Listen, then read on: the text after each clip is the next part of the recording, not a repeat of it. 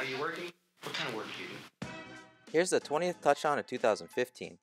On 2nd and 16, the Bills are in a 12 personnel, 3x1 wide receiver set. The Jags counter with their nickel defense. The Bills run another all vertical concept. The Jags try to confuse EJ pre snap, showing a two high safety look.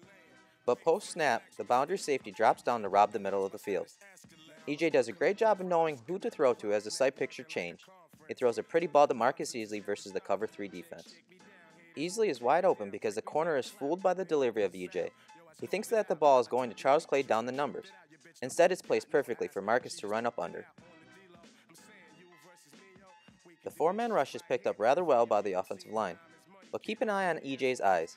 As he receives the snap, he immediately finds the safety. The safety drops down, EJ hits the top of his drop, hitches, and delivers a pretty pass for the touchdown. So here it is, the 20th touchdown of 2015.